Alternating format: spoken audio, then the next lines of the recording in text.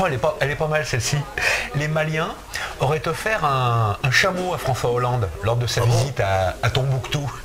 Ah bah dis donc, le chameau il a été volé. Eh bah tant mieux. Bah pourquoi tant mieux? Bah parce qu'après il y aurait pu avoir confusion. Confusion? Bah il y en a déjà un de chameau à la maison qu'on voit des tweets. Oh, J'en l'embrouille. Ah, non, Oh, alors là, hein À la tienne. À la tienne, ouais. Mais au fait, elle, a combien de bosses, euh, la Valérie, elle? Le chameau, le chameau, qui a deux bosses sur le dos.